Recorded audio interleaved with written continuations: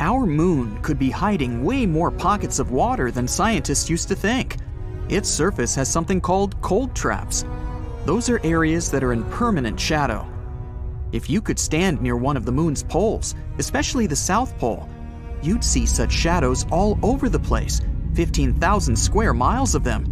There are tiny cold traps that are only 0.4 inches wide, and there are hundreds and thousands of bigger ones. These regions are in eternal darkness and might have even gone without the slightest ray of sunlight for billions of years. And now, scientists think they're hiding much more than we thought, including small patches of ice, no bigger than a penny. But still, something astronauts could use to drink or for their rocket fuel. The majority of the water could be stored in glass or somewhere between grains on the surface of the moon. One theory says 15,500 square miles of the lunar surface could have the capacity to store water. But no one can prove it until someone goes there in person or sends rovers that would dig under the surface. The moon is not entirely white and devoid of color. Apollo astronauts that landed there in 1969 said the moon was a bit brownish. Later studies showed some dark lunar areas display hints of brown and blue. Highland regions are yellowish, with faint traces of pale and pink. Colors are not the same everywhere because of different amounts of various metals that are present on the moon, like titanium or iron in the surface minerals. Our eyes are not sensitive enough to pick out such differences from this distance, but the majority of the lunar surface consists of minerals that are naturally gray, and that's mostly the color we see from our planet. When you're in space, you can't walk on the ground. No gravity, so no need to wear shoes. That's why astronauts mostly wear socks, or eventually add another warmer pair if they're cold. But something strange might happen to your feet while you're up there. First, if you have calluses, they may fall off after some time. One astronaut described his experience and said the bottoms of his feet became very soft, while the skin on the top of his feet became very rough like alligator skin. He engaged the top of his feet to get around when he was using foot rails on a space station where they stay. It's not easy up there. Astronauts on the International Space Station, ISS, have to use foot rails and loops to remain steady. When they have to do regular things, like just getting a haircut. When they want to do training, they can strap their feet into sneakers on the exercise equipment. It's essential for them to exercise way more than they'd have to on Earth, around two hours each day, because the human body isn't used to moving or performing any actions we normally do without gravity that kinda holds us together. Plus, if you stay in space for a longer time, you can lose much of your bone and muscle mass. For example, you can lose almost 20% of your muscle mass if you spend only 11 days in zero gravity conditions. But if you were up there, there's no point in using weights, right? Zero gravity affects them too. Instead, astronauts mostly use a device outfitted with two small canisters that create a vacuum and allow them to pull against a long bar. On the ISS, you can also use a bike and a treadmill. Did you know that NASA spent millions of dollars developing a pen that you could write with in zero gravity? A pencil is not the best solution for space travel. They have a habit of breaking and shattering, which can leave graphite dust behind. Also, they're wooden, which brings a high risk of fire in the pressurized, oxygen rich capsule.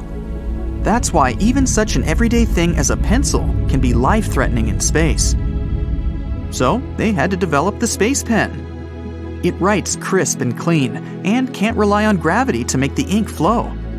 Instead, it uses compressed nitrogen to force ink out of the nozzle. This way, you can write while you're floating upside down, or even submerged underwater.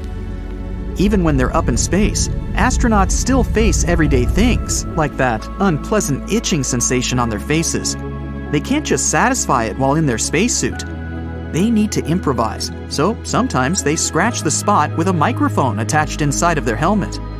Sometimes they attach patches of Velcro inside their helmet for such things. One of the most complicated issues with space trips is how to protect astronauts from space radiation.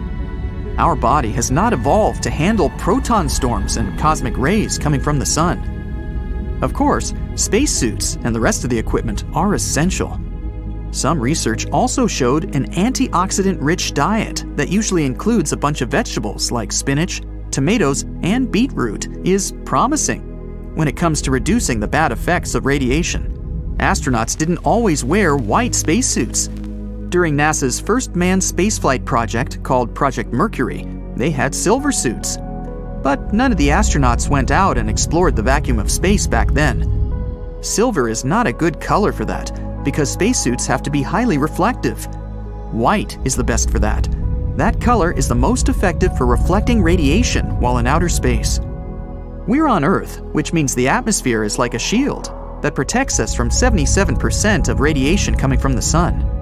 But astronauts don't have such protection up there, and this means they're very vulnerable to severe sunburn and extremely high temperatures. A white spacesuit helps, the same way as white paint on your walls helps you keep an entire room cooler. A lighter color will absorb 35% less heat. White is not the only color in their closet. When heading into space or coming to Earth, they sometimes wear a bright orange suit. It's a color that attracts attention, so if anything goes wrong during landing and astronauts have to quickly leave their ship, the rescue crew will spot them more easily.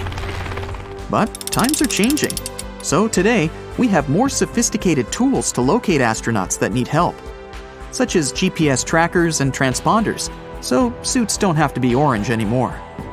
Floating through space.